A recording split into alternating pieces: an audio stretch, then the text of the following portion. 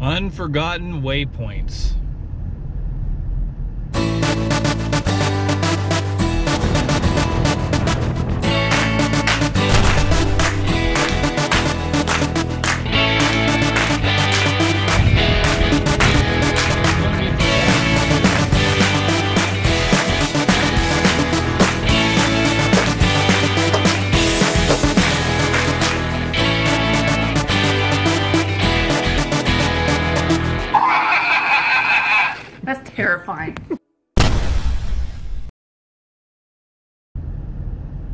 Welcome back to Rogue M4. Um, you know, I was driving around, going to different places, and and uh, you know, driving all over the place.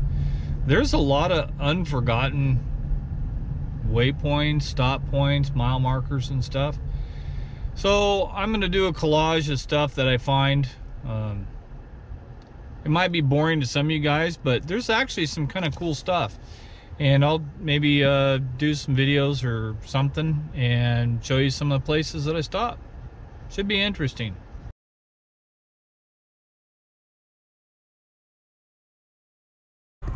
Just thought I'd stop and take a break. Found this site. It's kind of a cool painted rock. Andrew Raid.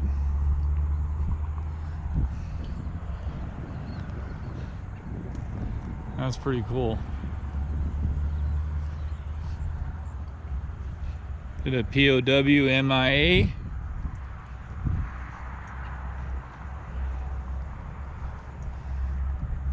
Nice little deal.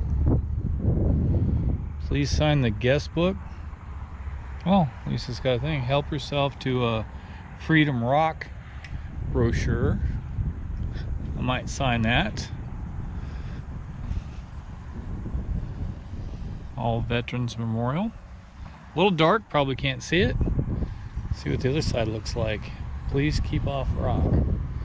Well, memory of all the veterans of all wars. So this is kind of nice. It's got benches. It's got flags for POWs.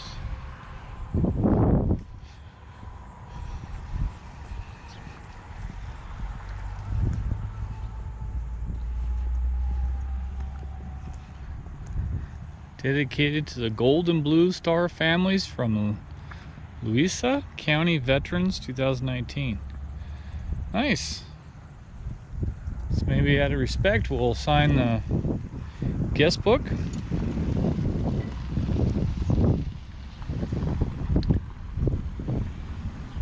A little windy today. Maybe I can get a good shot. Oh, look at the bricks.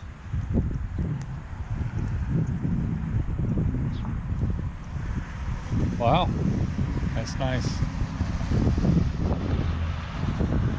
I'll try to get a good shot in of the helicopter and see what it looks like. At uh, Bushnell, Illinois.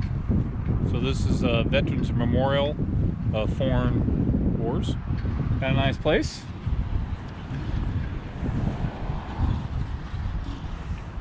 Notice the bricks got all done too. That's kind of cool.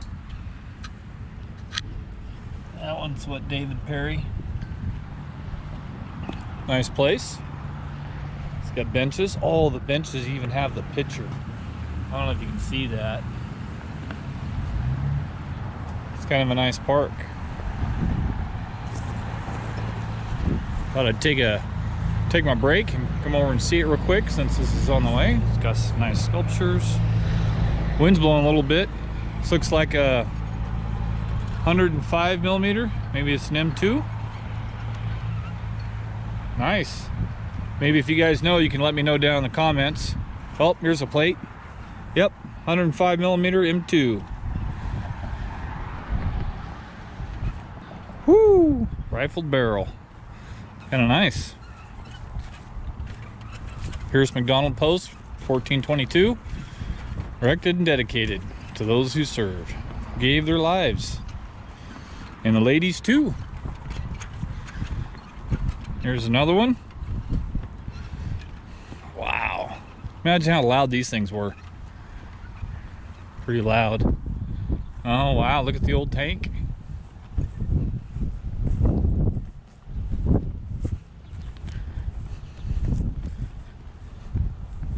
That's cool. Wow. That is thick steel. That's some thick steel. I wonder why these things were so heavy. I do not know what kind of tank this is. Man.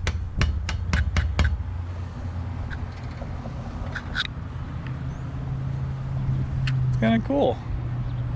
It's got grading up there, but really can't tell. I don't know. Where'd they get it? Oh, I guess they got in at the top. Oh, here's a hatch here. Yep, that's kind of cool. I think they probably welded that shut, maybe. Box on the back. Doors welded. it's got brake lights and backup lights. That's funny. You know, just in case you're down going down the highway, I guess. If you know what kind of tank it is, let me know down the down the comments below.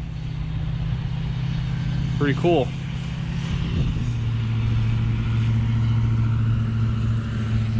I can understand the headlights. It looks like it's got infrared lights on it too.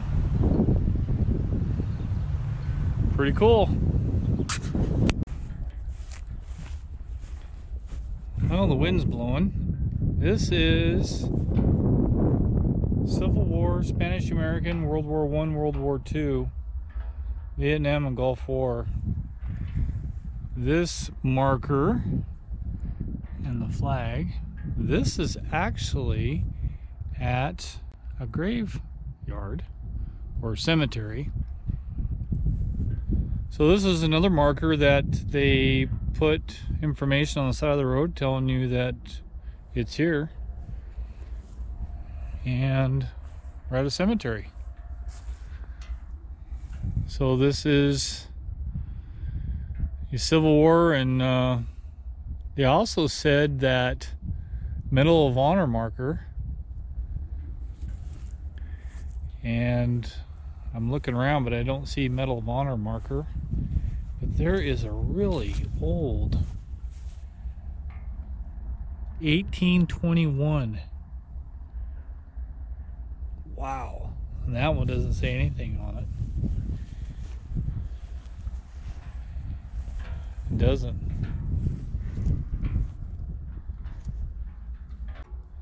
Eighteen twenty one no, that's got to be 1921.